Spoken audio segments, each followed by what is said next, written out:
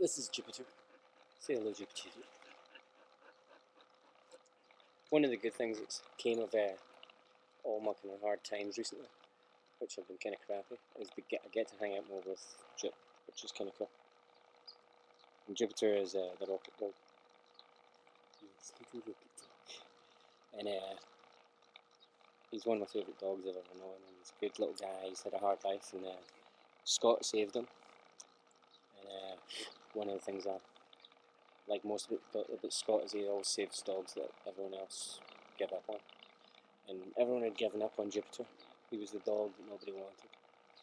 I mentioned in another video about uh, Scott saying at one point, you were the only friend he had in the world at that point. And uh, now he's the only friend I've got in the world.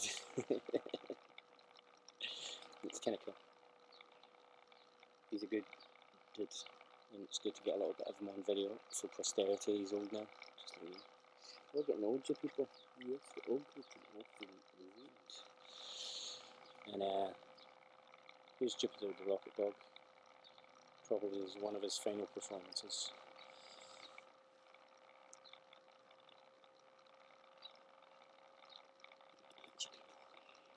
Who's my